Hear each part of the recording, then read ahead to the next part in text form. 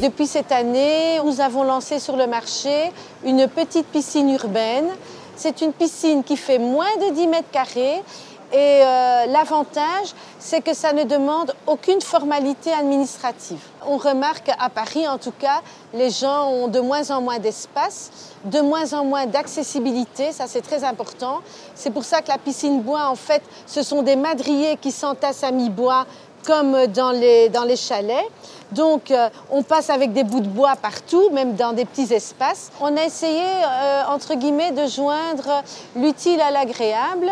Euh, c'est vrai qu'il y a un engouement certain pour tout ce qui est spa.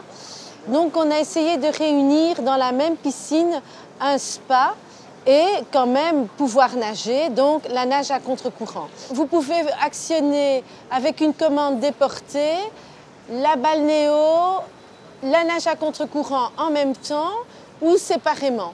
Donc euh, la balnéo, vous avez un banc euh, avec huit vannes euh, que vous pouvez actionner simultanément et la nage à contre-courant est de l'autre côté et vous permet de nager à l'aise avec soit la balnéo en même temps, mais bien souvent on fait l'un ou l'autre.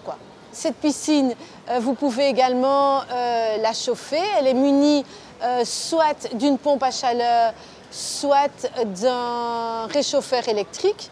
Vous pouvez monter la température comme vous le souhaitez, euh, jusqu'à 30 degrés si vous voulez nager dans l'eau chaude ou si vous voulez euh, faire de la natation un peu plus sportive, euh, vous pouvez la mettre sans chauffage également.